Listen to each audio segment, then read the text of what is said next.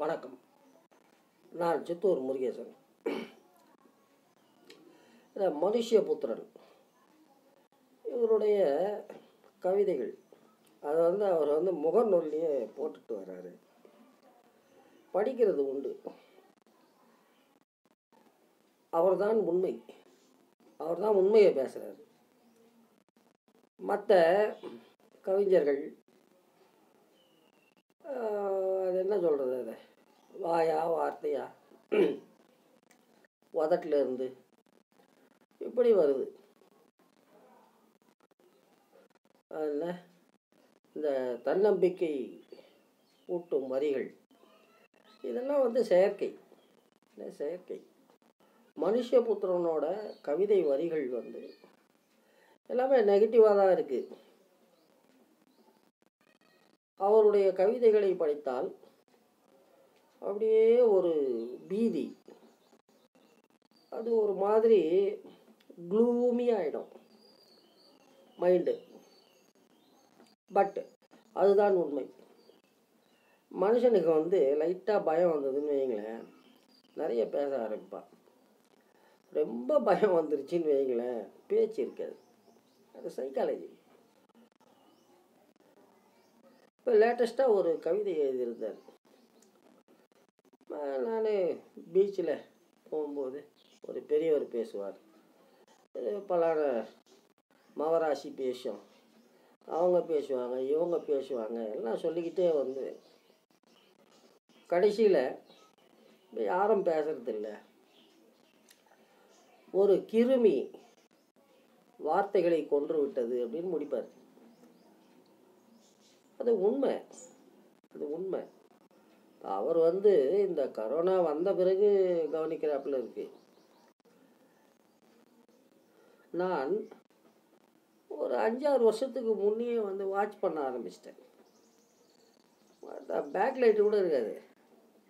மூணு கடை ஷட்டரு திண்ணையில் உட்காந்துக்கிட்டு கிடப்பானுங்க. எல்லாம் வயசு பசங்க கூட. அவன் ஒரு மொபைலில் நோண்டிக்கிட்டு இருப்பான். அப்போவுமே வந்து எனக்கு தோணும் என்னடா இது?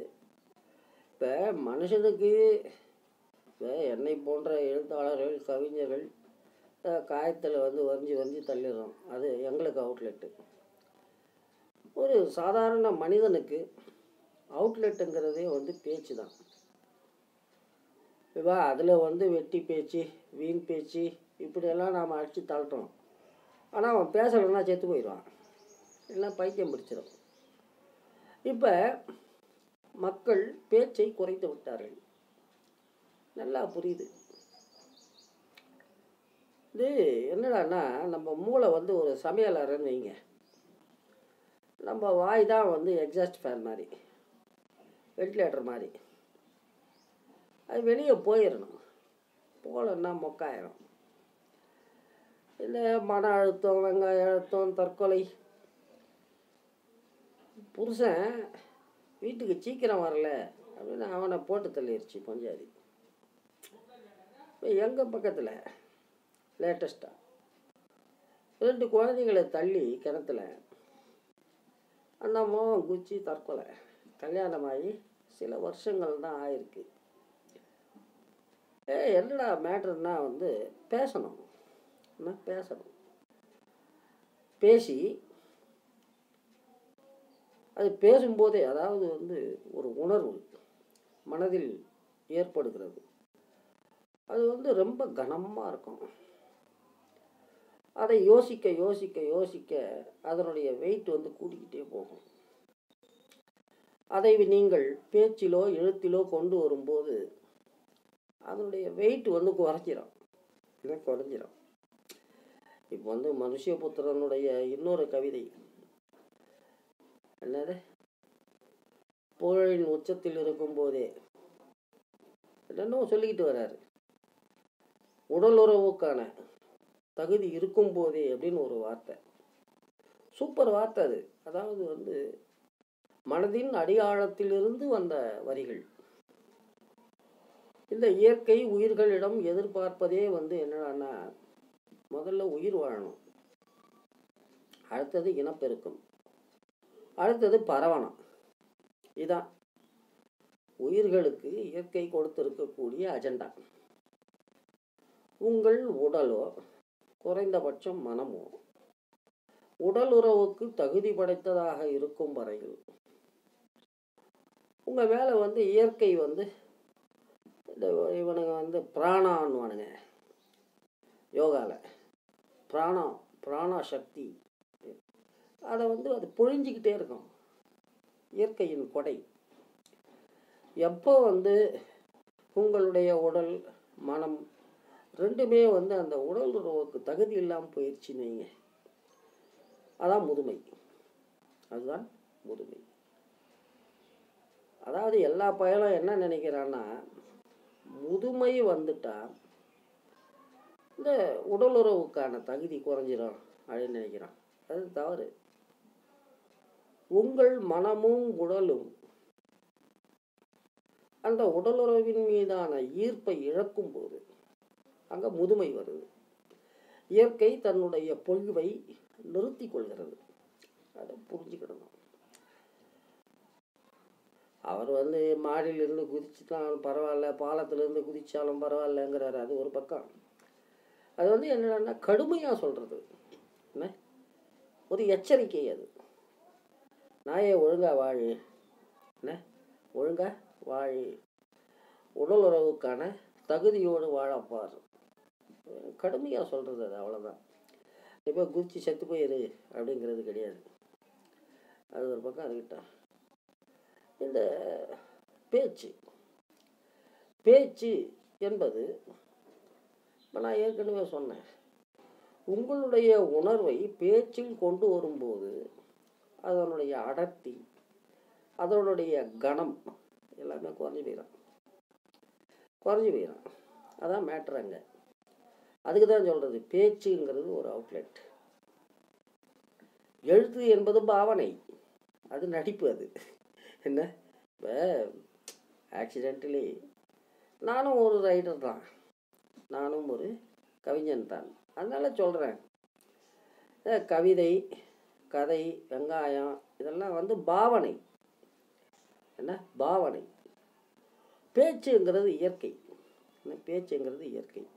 இதுலேயும் பார்த்தீங்கன்னா வந்து நீங்கள் அதாவது இந்த டீனேஜ் டீனேஜ் வரைக்கும் இருக்கக்கூடிய பேச்சு வேறு. ஏன்னா அவனுக்கு வந்து அந்த சப்கான்ஷியஸில் இருக்குது என்ன? நாம் இன்னும் நிறைய நாள் வாழ போகிறோம் என்ன? நிறைய நாள் வாழ போகிறோம் இதெல்லாம் ஜொஜிபி அப்படிங்கிற ஃபீல் இருக்கும். அப்போ அவன் பேசுகிறான் பாருங்க அதெல்லாம் வந்து ஸ்வீட் நத்திங்ஸு அதுக்கப்புறம் வந்து இந்த நடு வயது வரும் மிடில் ஏஜ் அப்போ வந்து அவனு அவனுடைய வாழ்க்கை போராட்டம். அந்த போராட்டம் அந்த போராட்டத்தில் கிடைக்கக்கூடிய வெற்றி தோல்விகள் அதனால் கிடைக்கக்கூடிய பலன்கள் அந்த பலனை எவன் அனுபவிக்கிறான்? இதெல்லாம் வந்து அவனுக்கு ரீச் ஆகிக்கிட்டே வரும். அப்போ வந்து என்ன ஆகும்னா அவனுடைய ப்ரியாரிட்டி லிஸ்ட்டு மாறிக்கிட்டே வரும். இப்போ எழுத்தாளர் சுஜாதா. அவர் வந்து பெரிய மேதை வெங்காயம் சொல்கிறாங்க நாலு இங்கிலீஷ் புஸ்தகம் படித்தா ஒரு தமிழ் புஸ்தகம் எழுதலாம். என்ன அதில் கொஞ்சம் சாலாக்கு இருக்கணும். கொஞ்சம் அது ஒரு டெக்னிக் நம்மளுடைய டச் இருக்கணும்.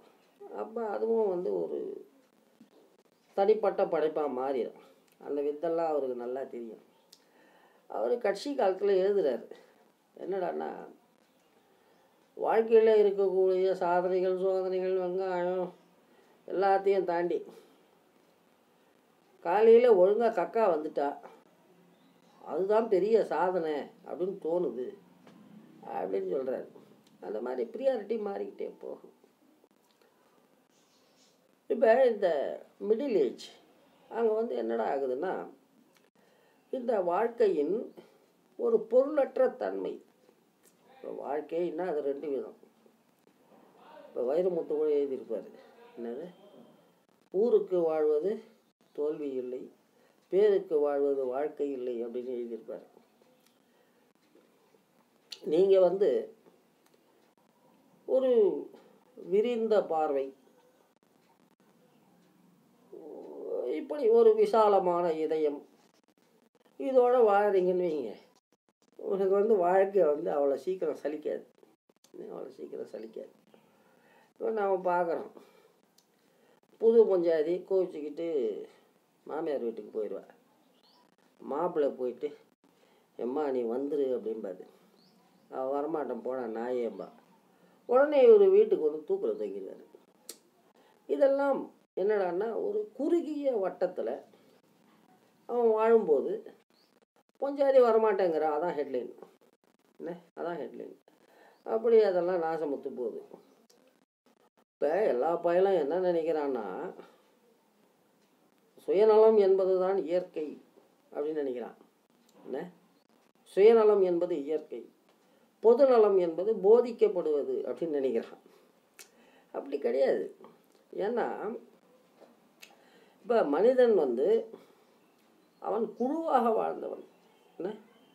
அந்த காட்டு வாழ்க்கையில் அதுக்கப்புறம் வந்து சஞ்சார வாழ்க்கையில் அதுக்கப்புறம் வந்து ஸ்திர வாழ்க்கையை ஆரம்பித்த பல நூற்றாண்டுகள் எல்லா பயலும் வந்து குழு மனப்பான்மையோடு தான் வாழ்ந்தான். என்ன? குழு அதான் முக்கியம். நம்ம டீம் அதான் முக்கியம். இப்போ நீங்கள் வந்து எல்லா ஊர்லேயும் வந்து பெண் தெய்வங்கள் இருக்கும் அதை வந்து இவனுங்க பாப்ஸ் வந்து சிறு தெய்வம் அப்படின்மா தெய்வத்தில் என்ன கொய்யால சிறு தெய்வம் பெரு தெய்வம்? எந்த தெய்வம் நமக்கு அருள் புரியுதோ அதான் பெருந்தெய்வம் இப்போ அவனை பொறுத்த வரைக்கும் அதான் பெருந்தெய்வம் அது ஒரு பக்கம் இருக்கிட்டான் அந்த பெண் தேவதைகள். எல்லாமே என்னடான்னா அந்த குழுவுக்காக. என்ன? அந்த குழுவுக்காக பல தலைமுறைகளுக்கு முன் தன்னுடைய இன்னுயிரை இழந்தவர்கள். அவங்கள தான் வந்து அந்த நன்றியோடு அவங்க வந்து சிலையாக்கி கல்லாக்கி வழிபடுறாங்க. பொதுநலம் என்பது தான் இயற்கை. என்ன?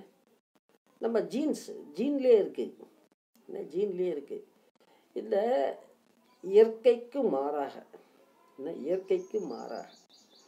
ஒய்யால பக்கத்து வீட்டுக்காரன் எப்படின்னா போட்டோம். தெருவில் இருக்கிறவன் எப்படின்னா நாசமுத்து போட்டோம். ஊர் எப்படியாவது பஞ்சத்தில் அழிஞ்சு போட்டோம் விவசாயிகள் எத்தனை பேர்னா சாகட்டும். நம்ம ஜி தாடியை வந்து எது வரைக்கும் வளர்க்குறாரு? அதான் முக்கியம். அப்படின்னு நினைக்கிறது இந்த இதெல்லாம் வந்து செயற்கை. என்ன செயற்கை? நம்ம ஜீனுக்குள்ளே இருக்கிற அந்த அடிப்படை இது என்னடான்னா டீம் ஸ்பிரிட். என்ன? Team spirit. குழு. குழு தான் முக்கியம். என்ன குழு தான் முக்கியம். குழுவின் மேன்மைக்காக நான் கப்பூசு கூட கழுவேன். அதான் மெயின் இப்போ இந்த மனிதர்கள் இப்போ ஒரு மனுஷபுத்திரன் சொன்ன அந்த முதல் கவிதைக்கு போகலாம் ஒரு கிருமி வார்த்தைகளை தின்று விட்டது அப்படிங்கிறாரு நான் ஏற்கனவே சொன்னேன். மனுஷன் கொஞ்சம் பயப்படும் போது நிறைய பேசுவான். கொஞ்சம் பயப்படும் போது நிறைய பேசுவான். ரொம்ப பயந்துட்டான் வைங்க. பேச்சே வராது. என்ன? பேச்சே வராது. இப்போ நான் என்ன சொன்னேன்? நம்முடைய ஜீன்கள் நம்மை பொதுநலத்தோடு வாழ வைக்கின்றன. இப்போ இந்த ஜீன் எல்லாம் வந்து என்னடான்னா ஃபேஷன் கிடையாது. மூணு மாதத்துக்கு ஒரு தடவை மாறி போகிறதுக்கு இப்போ வந்து பெண்களுக்கு பிரசவத்தில் சிக்கல் வருது. அதுக்கு காரணம் என்ன? மனிதன் வந்து முதல்ல நாலு காலில் நடந்துக்கிட்டு இருந்தான். அப்புறம் ரெண்டு காலில் நடக்க ஆரம்பிச்சிட்டான். அது ஆணாகட்டும் பெண்ணாகட்டும் ஆணுக்கு ஒன்றும் பெருசாக பிரச்சனை இல்லை. இன்னும் சொல்ல போனால் வந்து அந்த மூளைக்கு செல்லக்கூடிய அந்த இரத்த குழாய்கள் எல்லாம் அந்த அழுத்தம் குறைந்து அந்த இரத்த குழாய்கள் படிப்படியாக மெலிந்து சூட்சும புத்தியெல்லாம் வர ஆரம்பிச்சிருச்சு. இந்த பெண்களை பொறுத்த வகையில் வந்து மிருகங்கள் பிரசவிக்கின்றன. மிருகங்களுக்கு வந்து பெருசாக எந்த சிக்கலும் வர்றது கிடையாது. என்ன? எந்த சிக்கலும் வர்றது கிடையாது. மனிதன் வளர்க்கும் பிராணிகளுக்கு வரலாம். அது வேற கதை. நான் சொல்றது இயற்கையோடு ஒன்றி இந்த மனிதர்களுக்கு தொலைவாக வாழக்கூடிய மிருகங்களுக்கு வந்து பிரசவத்தில் சிக்கல் எல்லாம் கிடையாது. ஏன்? அதாங்க.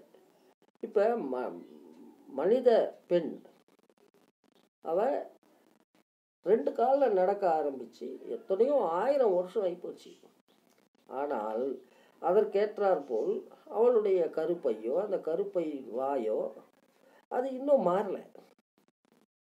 ஜீனுங்கிறது வந்து ஃபேஷன் கிடையாது. பதினஞ்சு நாளைக்கு ஒரு தடவை மாறி போகிறதுக்கு பல லட்சக்கணக்கான வருஷங்கள் தேவைப்படும். இந்த அடிப்படை விதியின்படி பார்த்தால் நாம் எல்லாருமே பொதுநல விரும்பிகளாக சமூகத்தின் மேன்மைக்காக நாட்டுக்காக நாம் வந்து சிந்திக்கணும் செயல்படணும். ஆனால் இந்த இன்செக்யூரிட்டி என்ன?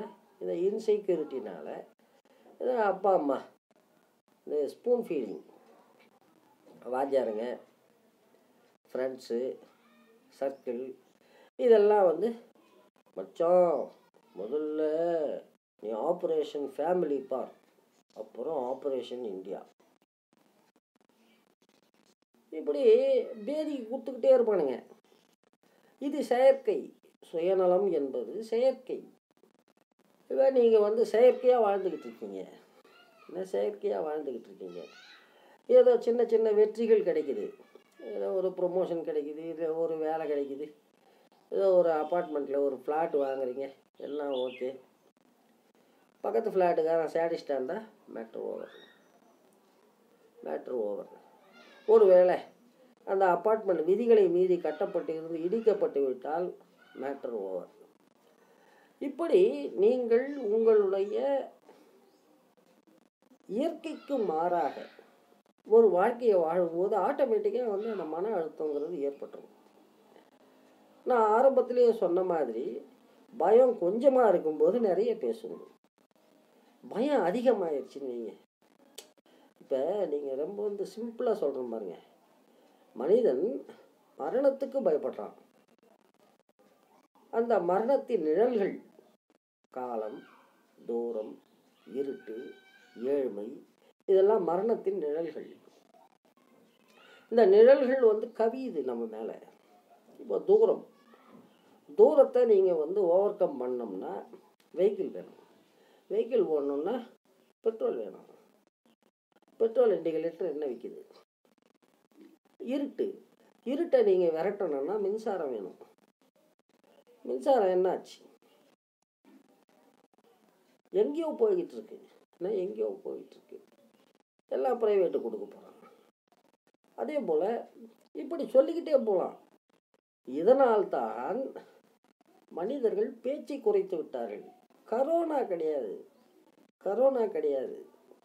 எப்போ வந்து இவனுடைய சர்வைவலே வந்து கேள்விக்குரியதாக மாறிவிடுகிறதோ எப்போது மரணத்தின் நிழல்கள் இவனை அப்படியே சூழ துவங்குதோ அங்கே வந்து பேச்சு நின்று போயிடும் பேச்சு நின்று போச்சுன்னா மன அழுத்தம் அதிகமாயிடும் அதுலேயும் இவன் வந்து இயற்கைக்கு மாறாக சுயநலத்துக்காக வாழ்ந்துக்கிட்டு இருக்கான். இப்போ எல்லாருடைய உலகமும் ரொம்ப சின்ன சின்னது. அந்த உலகத்தில் சுஜாதா சொன்ன மாதிரி காலையில் கக்கா வந்துருச்சுன்னா அதான் ஹெட்லைன் ஆனால் வேறு உலகம் இருக்கிறது. அந்த உலகத்தில் இது வந்து பெட்டி செய்தி கூட கிடையாது. இந்த மாதிரி முரண்பாடுகள் இயற்கைக்கு விரோதமான வாழ்க்கை. இப்படி இந்த மரணத்தின் நிழல்கள் இது வந்து கவியறது. அதனுடைய சீரியஸ்னஸை வந்து மனுஷன் புரிஞ்சுக்கிட்டான்னு நினைக்கிறேன். நான் வந்து ஆயிரத்தி தொள்ளாயிரத்தி எண்பத்தி ஆறுலேருந்து சொல்லிக்கிட்டு இருக்கேன். என்ன? உலகமே திவாலாக போகுது. உலகமே திவாலாக போகுது. இந்தியா திவாலாக போகுது. சொல்லிக்கிட்டே இருக்கேன். Black hole theory black hole theory நம்ம ரிசோர்ஸஸ் எல்லாம் ஏதோ ஒரு வழியில் போகுது. கொய்யால நோ ரிட்டர்ன்ஸ் இப்படியே போனால் என்ன ஆகும்? திவால். இதான் மேட்ரு அதனால் நான் என்னடா சொல்கிறேன்னா பேசுங்க. பேசுங்க. உங்களுக்கு பேச்சு துணை கிடைக்கலையா? ஃபோன்லேயே வாய்ஸ் ரெக்கார்டர் இருக்குது வாய்ஸ் ரெக்கார்டர் ஆன் பண்ணிக்கிட்டு பேசுங்க. இப்போ இன்றைக்கி வந்து நான் இப்படி வீடியோ போடுறதுக்கு நான் உடனே பத்து லட்சம் பேர் பார்த்துட்டு போகிறேன் கிடையாது. ஒரு அவுட்லெட் ஒரு அவுட்லெட் இல்லை உங்களுக்கு வந்து ஃபோனில் ரெக்கார்ட் பண்ணுறதுக்கும் பயமாக இருக்கா? பாத்ரூமில் கதவை தாழ் போட்டுக்கிட்டு பேசுங்க. தப்பு கிடையாது. அவுட்லெட் அவுட்லெட்டுங்கிறது ரொம்ப முக்கியம். பைத்தியம் பிடிக்கிறது. தற்கொலை சிந்தனை தற்கொலை பண்ணிக்கிறது. இதெல்லாத்தை விட இது பெட்டர் தானே. அதனால் பார்த்து ஃபாலோ பண்ணிக்கிடுங்க. நன்றி வணக்கம். சித்தூரிலிருந்து முருகேசன்.